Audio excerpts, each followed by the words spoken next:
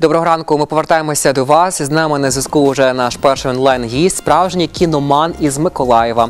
А, відомий там і не тільки кіноглядач Дмитро Доведенко.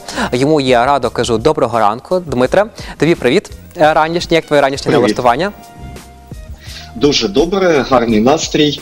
Е, Я зараз у столиці, у нас тут сонячно і все чудово. Сьогодні маємо таке коротке експрес-інтерв'ю, аби познайомитися і поспілкуватися про а, твоє кінозахоплення.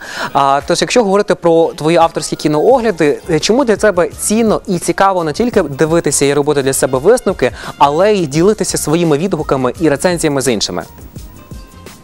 Ну насправді е, спочатку на це був просто запит у моїх друзів. Е, Я просто дуже усвідомлено дивлюсь кіно і- е, завжди про це говорю. Пропоную дивитися саме так кіно іншим людям. Тобто не тільки споглядати сюжет, але не тільки аналізувати гру акторів, але дивитись трошки ширше на кіно.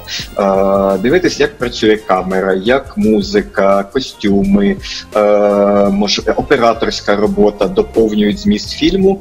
Е, і це. Е, Ну, тобто дуже багато аспектів є у кінематографі. Наскільки е, зрежисовано гарно, як все у взаємодії, наскільки сценарій він е, ну, має сюжетні дири, немає. Е, можливо, ну наскільки він завершений, наскільки він передає основну ідею фільму. Е, про це ну я про це люблю говорити, і е, як учасник Миколаївського кіноклубу Reality Shift Cinema і куратор там кінопоказів, я Завжди пропоную дивитися своїм друзям, е, просто глядачеві Миколаївському і не тільки кіно усвідомлено, е, шукати в ньому естетичне захоплення, задоволення, бо для мене це дуже важливо. Як, якраз якщо говоримо про твоє місто, це Миколаїв. А, чим для всієї України може бути цікавий досвід саме цього міста в плані такої тусовки кіноманів? Тому що є зацікавлені люди, які дивляться кіно, обмінюються досвідом на рівні таких вечірок, коли вони не просто списуються, аби розповісти свої враження, а зробити це згуртовано і фактично утворити таку негласну кінораду. То розкажи, будь ласка, про цей досвід, що на це впливає, як, як утворилася ця тусовка кіноманів? Е, ну, Миколаїв взагалі е, любить кіно. Тобто, але крім традиційних кінотеатрів, у нас, е, ну, наприклад, проходить дуже великий всеукраїнський фестиваль короткометражного кіно. Він називається Громадський проектор, і він дуже популярний серед глядачів. Є ще ряд кінофестивалів. Там, наприклад, е, ось мої друзі Олександра Філоненко е, і Віктор Фурик. Вони організовують е, щороку Мангеттенський кінофестиваль, проводять відкриту ніч. Фестиваль українського короткометражного кіно. Часто він проходить під відкритим небом. І в принципі, миколаївський глядач він звичний приходити на різні кіновечірки, кінотусовки. Є таке неофіційне ком'юніті, яке е, любить дивитися фільми. Вони збираються е, обговорювати це або дивляться їх онлайн зараз на період карантину, і там дуже е, цікаві запеклі дискусії проводяться у Zoom-конференціях. Це ну дуже прикольно насправді е, і згуртовує людей, е, дає їм е, більш е, ну, осмислено таке і цікаве можливість сидіти вдома, споглядаючи кіно і обговорюючи його з такими ж кіноманами, як вони самі. А от е, якщо говорити про критерії відбору, я от прочитав цікаву річ е, в публікації, яка була на твоїй сторінці, е, що стосується кіноклубу, припустимо, стрічки, які були відзначені на Канському фестивалі, припустимо, у 2002 році, тепер спокійно можна побачити по телебаченню. А це хороший той кінофонд, який можна повторювати, дивитися знову і знову і знову. Це кіно, яке не устаріває. То фактично, як ви слідкуєте за цією кіноісторією, і, за якими критеріями обираєте те, що у своєму товаристві хотіли подивитися і обговорити? Ну е, я не долучений до формування цієї програми, але можу сказати загалом, що кожний е, кожного місяця це виходить якесь тематичне кіно. Ось зараз у травні це ретроспективні е, обговорення фільмів, е, ну обговорення фільмів. Е, Канського кінофестивалю саме 2002 року. Я вже не пам'ятаю, чому така традиція саме відставання ось на е, 18 років, але в принципі е, травень це місяць Канського кінофестивалю, і е, саме е, у травневі дні ми відзначаємо його проведення у Європі, тим, що дивимося кіно е, минулорічних показів. Я ось е, буду куратором останнього онлайн кінопоказу, а може вже не онлайн, не знаю, подивимось 31 травня. Е, ми там будемо дивитись е, е, кіберпанк. Е, ну це можливо буде досить цікаво.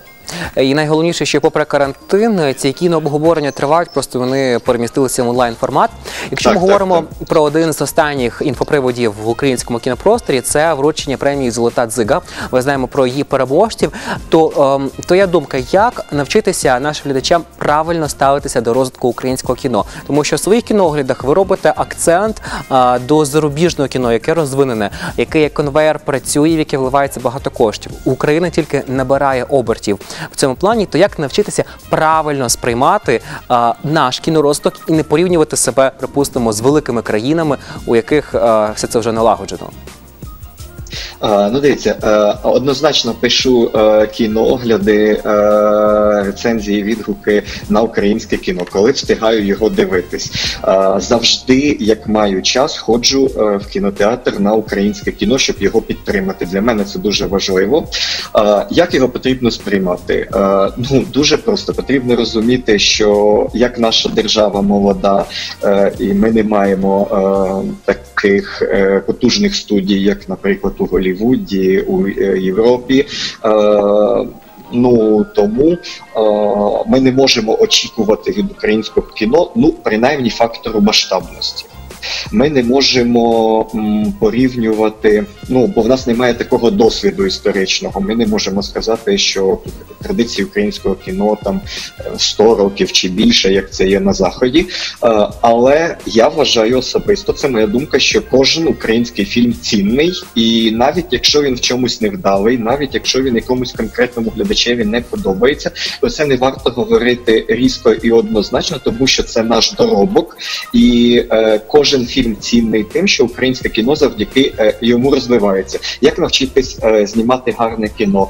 Е, дуже мало шансів, що одразу прийде молодий режисер і зніме крутий фільм, який там переможе на Оскарі чи на якихось кінофестивалях у Європі. Потрібно знімати кіно багато різного, різнопланового, жанрового, там ігрового, неігрового, з патріотичного спрямування, звичайного якогось соціально-побутового. І у великій кількості фільмів е, ну народяться перли, ті, які стануть е, такою золотою колекцією, можливо, українського кіно, які війдуть, по яким будуть писатись підручники. Ну, Е, для того ж. Для того щоб знімати це кіно, потрібно безсумнівно державна підтримка, якої зараз критично не вистачає. Ми нагадаємо всесвітній такий негласний закон, що має зніматися в рік бодай 100 фільмів, і лише декілька з них будуть справді найуспішнішими. Це досвід багатьох країн, який насправді підтверджений з роками. Якщо ми говоримо про останню е, премію Золота дзига, яка буквально е, днями відбулася, ми знаємо про перелік переможців, е, відзначені фільми як Поїдумки тихі, крути 19-18. І також фільм із комедною назвою Співає Івано-Франківськ Теплокомуненерго у нашій синагозі додому. Також решта фільмів. Якщо ми говоримо. Якщо ми говоримо про а, авторські кіноогляди і а, саме такі авторські суб'єктивні кіноплоги, що з цього переліку тобі вже довелося побачити, і що б ти рекомендував до перегляду нашим глядачам?